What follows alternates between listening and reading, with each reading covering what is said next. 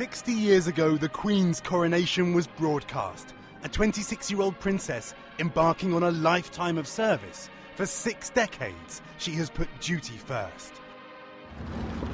60 years later, it's a different world. Her grandson was infamously caught on camera, pictured on a cell phone. Harry describing in an interview the challenges of a world where everyone has a camera. I don't believe there is any such thing as private life anymore. I'm not going to sit here and whinge. Um, everyone knows about Twitter and the internet and stuff like that. Um, every single uh, mobile phone has got a camera on it now. You can't move an inch without someone judging you. Um, and you know that's I suppose that's just the way life goes. Even the interview itself, a sign of how the world has changed for the royals, recorded during filming as Harry served in the Royal Air Force in Afghanistan. The Queen has never given an interview. And while the young royals are still royal, the international tours, the adoring crowds, the Duke and Duchess of Cambridge and their younger brother's celebrity around the world has brought new pressures. Diana experienced it, of course, chased by paparazzi, just as Kate would be decades later.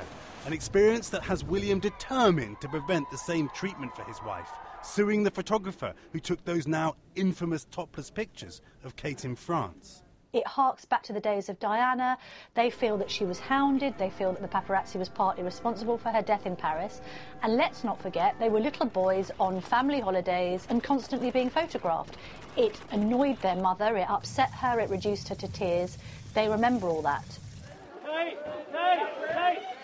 But for the royals, the media are now part of their lives. And as William and Kate prepare to bring a new life into the world, there will be a clamour for news. I get the impression that the Duchess of Cambridge, a keen amateur photographer, a new mum, is going to be wanting to be proudly displaying this baby. But will William be pulling her back in that?